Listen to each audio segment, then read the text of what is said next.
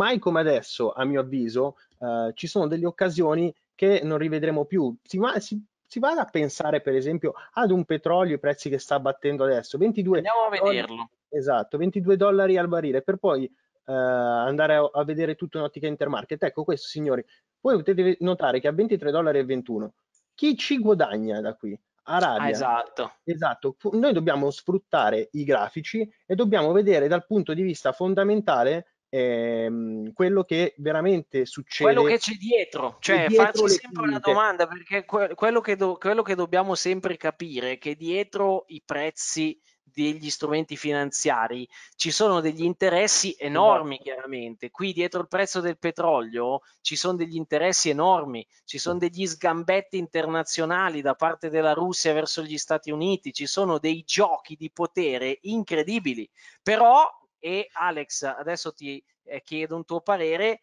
A mio avviso non ha senso un prezzo del petrolio così basso perché non fa bene a nessuno Esatto. Quando, quando, come ben detto te, quando non fa bene a nessuno, eh, chi ci guadagna? Eh, senz'altro non, ci, non spingiamo le quotazioni a ribasso né io né, eh, né, i trader retail che lo spingono short. È normale che i vari fondi, i vari fan stanno iniziando a capire cosa c'è dietro. Fondamentalmente, se noi vogliamo fare i tecnici a guardare il prezzo buono 20, eh, ma io credo che massimo massimo sul 17 dollari al barile, lì, eh, signori, sia un'occasione che come po, po, lo posso definire come il bitcoin dell'anno se mh, mm, assolutamente sono d'accordo.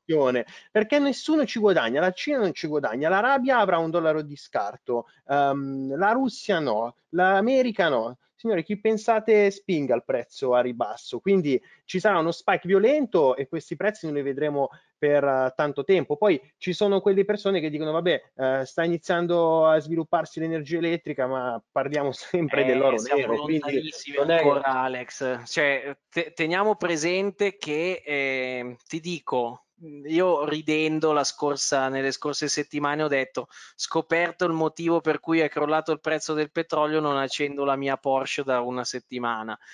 Ed è vero il calo, il calo del, del, del petrolio è, anche dovuto, è dovuto anche a un calo della domanda.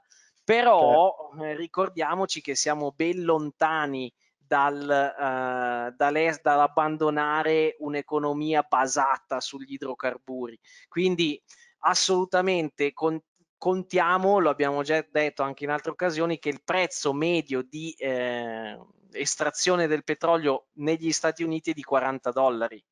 Cioè... Esatto, quindi, quindi Luca possiamo, possiamo, dare anche dei livelli, dei livelli tecnici per chi vuole Uh, chi volesse magari anche iniziare a, se a, a, allude a un'ipotesi di Alcis, certo. ovviamente, quindi ad accumulare, certo, uh, poi ovviamente con uh, la piattaforma si può iniziare ad accumulare un, dei cipettini. Ecco, no? tra quindi... l'altro in tanti ci state chiedendo, poi ti lascio dare i livelli tecnici Alex, ma in tanti ci chiedono ma come si fa a comprare il petrolio? Ragazzi, per comprare il petrolio l'ideale è proprio la piattaforma di Kimura perché addirittura su questo strumento che vedete in questo momento non andate a pagare nemmeno il funding perché è proprio un contratto future.